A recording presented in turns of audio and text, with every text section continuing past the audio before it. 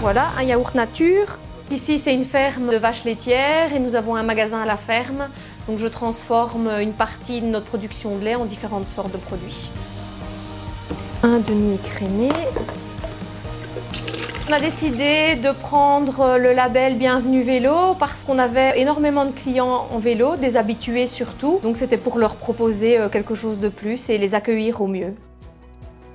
Le label Bienvenue Vélo est une initiative de la région Wallonne qui a pour but d'offrir un service spécifique aux cyclistes qui voyagent en Wallonie, que ce soit au niveau des hébergements touristiques, des attractions ou encore des restaurants.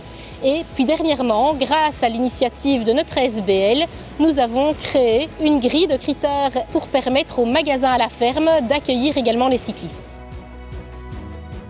Donc le service qu'on propose en plus, c'est qu'on a euh, ce que j'appelle la trousse de secours pour les vélos, qui permet de réparer les fuites, de regonfler si besoin. On a des clés aussi pour les petites pannes. Et alors j'ai aussi l'infirmerie pour les cyclistes si éventuellement il y a quelqu'un qui a chuté.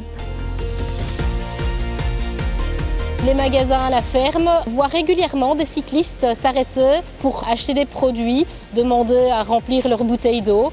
Et donc, effectivement, nous trouvions qu'il était intéressant de développer le label pour ces prestataires aussi.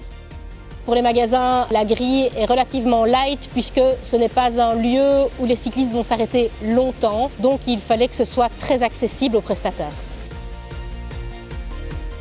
Donc au niveau du parking, quand on a aménagé notre cours, on a prévu la place pour les voitures bien évidemment, pour les motos. Et pour les vélos, on a mis un râtelier pour 4 vélos et on a ajouté de notre propre initiative une prise pour recharger les vélos électriques. Dans le label, on nous demande de pouvoir euh, guider les gens, leur expliquer où ils peuvent aller après, quels sont les restaurants dans la région et éventuellement les endroits où loger. Ça m'est déjà arrivé aussi de téléphoner aux chambres d'hôtes au bout de la rue pour voir s'il y avait de la place pour un client qui était ici en vélo. Maintenant, le label est accessible à tous les magasins qui souhaitent pouvoir afficher le label Bienvenue Vélo sur leur devanture.